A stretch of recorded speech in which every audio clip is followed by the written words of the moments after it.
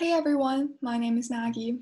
In my previous video, I talked about the artist Raphael from the Renaissance era, and I really encourage you to check that video out as well for more on Renaissance arts. Today, I want to stay in the Renaissance era for a bit longer to talk about another Italian artist, Titian. The Renaissance era ranges from the 14th century to the 16th century, centered around Italy and Europe. Like said in my previous video, this era marks the transition from the Middle Ages to modern day civilization, ending a dark period of wars, famines, and pandemics that caused the death of many. The Renaissance era movements were influenced by the revival of classical Greek and Roman philosophy, literature, and arts at that time, as well as the advances in international tradings and rational economy under the ruling of the Medici family.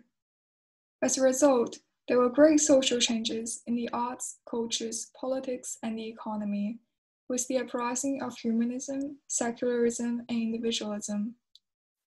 One of the most important aspects of the Renaissance era is the uprising humanism, which provoked doubts for the Roman Catholic Church. This ultimately led to the Reformation movement that resulted in the division of a new branch under Christianity called Protestantism. Some of the greatest artists, scientists, authors, and philosophers in human history thrived in the Renaissance era, including the legendary William Shakespeare, Nicholas Copernicus, and Leonardo da Vinci. Renaissance art was made in combination with new advances and discoveries in sciences, in fields such as anatomy, astronomy, and mathematics. They were characterized by realism and naturalism, in order to depict the beauty of people, objects, and nature in a true to life way. Techniques such as using realistic linear perspectives and using shadows and lights to add three dimensional depth to their works became common as they infused emotions in their pieces. Titian was one of the leading artists during the Italian Renaissance. Unlike Raphael, he lived a very long and accomplished life, passing at the age of 86 years old he was a very versatile painter who mastered all aspects of landscapes, portraits, mythological, and religious themed pieces. His powerful compositions, application techniques, and the primacy of colors over lines stood out in contrast with the mannerism prevalent amongst others in Italy. He was greatly recognized during his times and was considered the most important member of the 16th century Venetian school. He was a principal painter to the imperial court and was also hired by Pope Paul III to paint portraits. His works made a profound influence on subsequent generations of Western art. A famous quote that was used by his contemporaries to describe him was The sun amidst small stars, not only among the Italians, but all the painters of the world. Phoneme Tiziano Vecellio he was born in what is now Pieve di Cadore, Italy, between 1488 and 1490 as the oldest of four children. In his teenage years, Titian became an apprentice to the Venetian artist Sebastiano Zuccato. He was soon passed to the workshop of the Bellini family, where his true teacher became Giovanni Bellini, the greatest Venetian artist back then. Titian's early works were largely influenced by Giovanni Bellini as well as Giorgione, who was another follower of Bellini. They once collaborated on the frescoes of the Fondaco dei Tedeschi, for which the attributions of several works are still controversial today, as it was so difficult to distinguish between the two. In fact, after Giorgione's death in 1510, Titian assumed the task of adding the landscape background to Giorgione's unfinished work, Sleeping Venus. As Titian built his reputation, he was commissioned to paint some of the most prestigious public religious paintings. He further established his reputation and status with the nearly seven meters high altarpiece, Assumption of the Virgin, for the high altar of the Franciscan Church of Santa Maria Gloriosa dei Frari in Venice.